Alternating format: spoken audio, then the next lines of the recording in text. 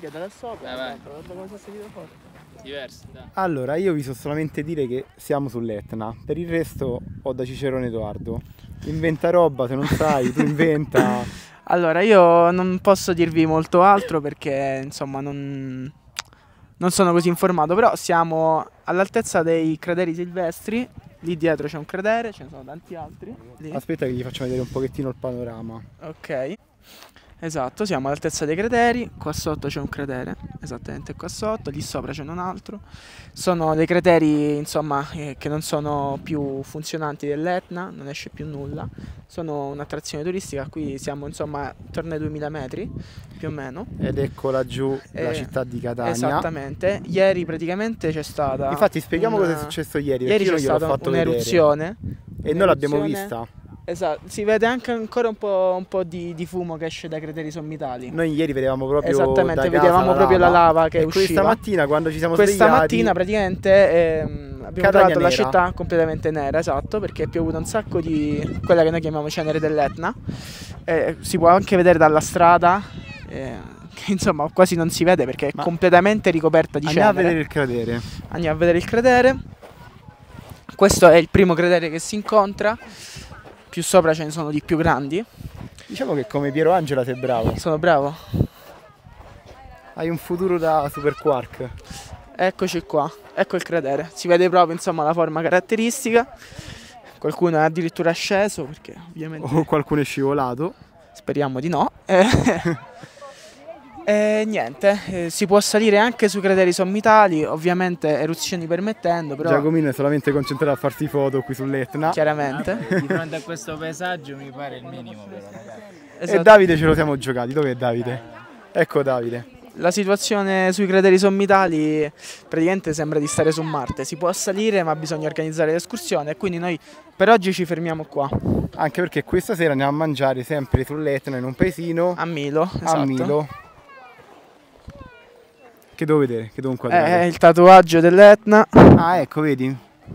Fallo vedere bene. Un bel tatuaggio dell'Etna. Ok.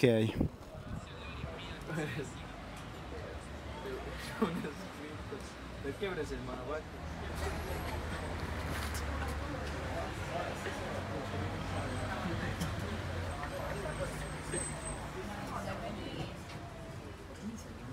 Allora, questa sera siamo all'appendice dell'Etna, a Milo, città del vino e della musica, in un'osteria che è I Quattro Archi, che lavora con tutte materie prime locali di qualità, ma anche materie prime che sono presidi slow food. Questo qui è il menù, con tutti i piatti tipici, anche piatti che non si trovano altrove.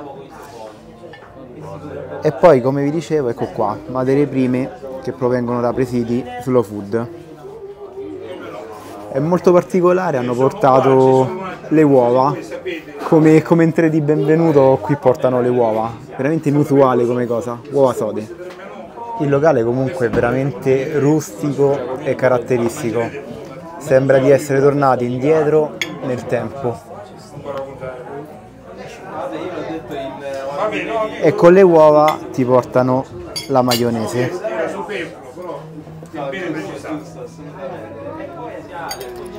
Ma non ho capito, questa cosa delle uova è una cosa che fanno qua però. È una cosa che si fa qua in Sicilia. Eh, è una cosa che si fa solamente qua. Quindi, maionese e uovo.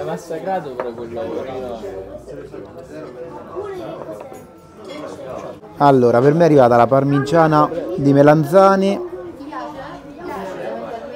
un arancino che sul menù chiamano arancino arancina ed è un arancino però particolare in questo caso, mentre Edoardo e gli altri hanno preso una pizza gourmet sempre con, eccola qua, con prodotti tipici e slow food.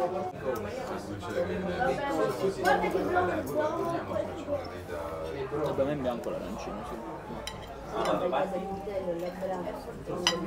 La tavola calda l'avete presa? Un arancino bianco ma che all'interno vedo che è sporcato con un po' di pomodoro però. All'interno c'è questo credo cavolo comunque locale.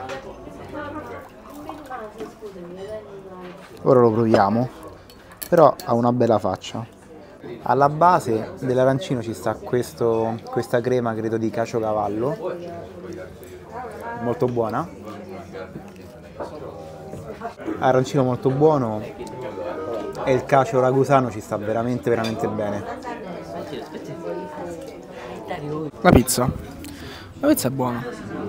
Molto buona. Ehm, ingredienti Gli ingredienti sono bufala, cacio ragusano, cavolo e pomodorino datterino.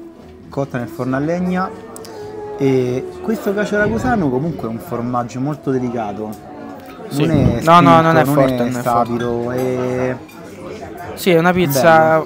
Hanno fatto bene a metterla come appetizer perché sì perché sta negli antipasti sì. eh, adesso ce l'hanno fatta una grande perché l'abbiamo presa in due, però di solito è più piccola. Eh, ci sta, ci sta. arancino buono ovviamente diverso da quello che ho provato fino ad oggi con il ragù all'interno ma ora andiamo con la parmigiana rigorosamente con melanzane fritte anche qua si vede questo questo cacio che usano eccolo qua parmigiana che oltre ad essere un piatto tipico siciliano è comunque un piatto tipico meridionale che fanno in tutte le regioni del sud, Campania, Calabria.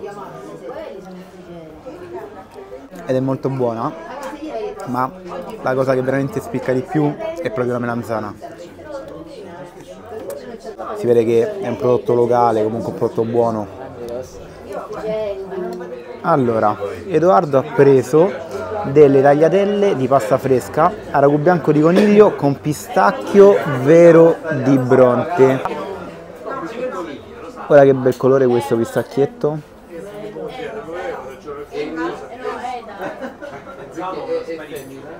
C'è veramente un bel profumo. Mentre di qua abbiamo un brasato di vitello con purè e funghi porcini. Porcini penso dell'Etna. E invece io resto fedele alle melanzane e ho optato per una norma. Quindi la mia seconda norma di questo viaggio in Sicilia. Vedi, questa è la norma nell'altra versione, quella che diceva Edoardo l'altra sera, dove le melanzane questa volta sono fritte, l'altra volta mi sembra che erano a funghetto, non so se fritte però erano a funghetto, ma sono messe questa volta a fette di sopra.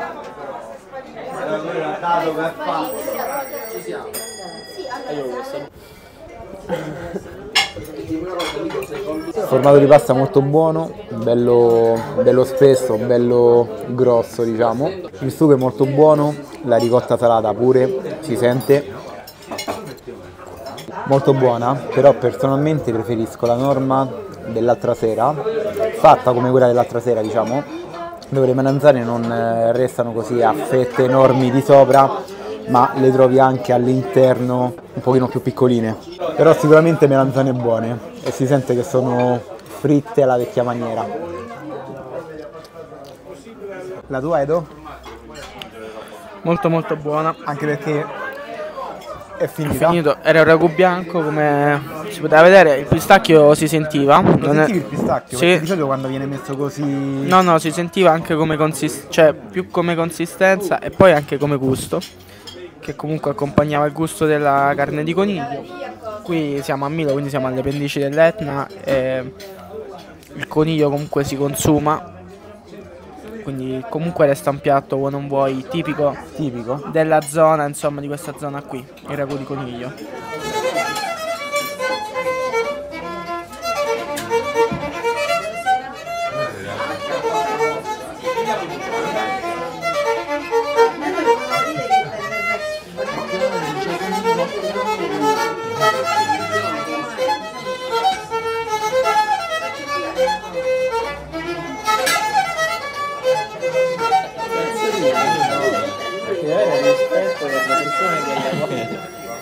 E per finire costine di suino nero dei Nebrodi.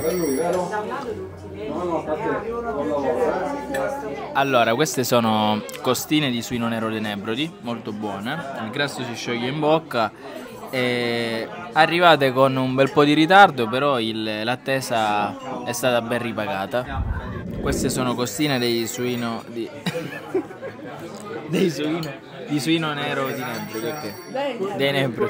Vabbè. Queste sono costine di suino allora, queste sono costine, costine. Queste sono costine di suino nero di Nebrodi, molto buone. Eh, il grasso si scioglie.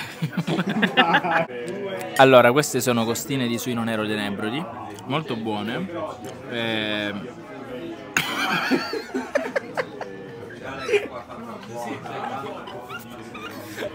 Aspetta, vabbè.